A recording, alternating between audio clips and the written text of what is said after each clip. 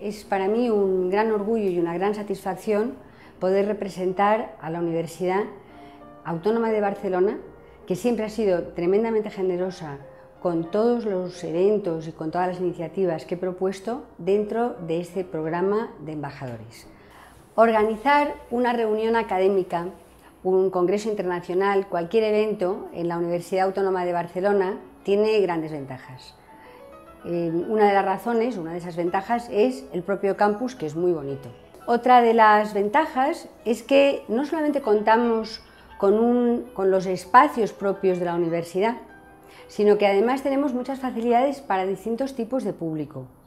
Alojamiento en el propio Hotel Campus, en la vila universitaria,